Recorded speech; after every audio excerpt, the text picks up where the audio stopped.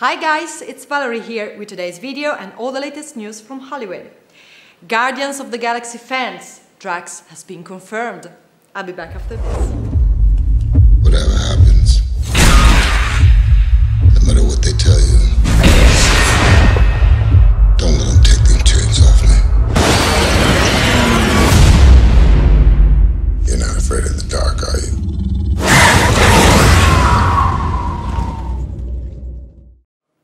After all the rumors about Jason Momoa, which seems was not offered the role after all, Marvel have finally chosen their Drax.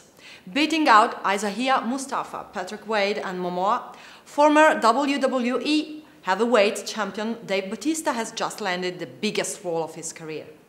Last seen in The Man with the Iron Fists, Batista will play Drax the Destroyer in the intergalactic superhero film, where he will co-star with Chris Pratt, playing Peter Quill, aka Star-Lord. Phase 2 of the Marvel Cinematic Universe begins this year with Iron Man 3, followed by Thor The Dark World.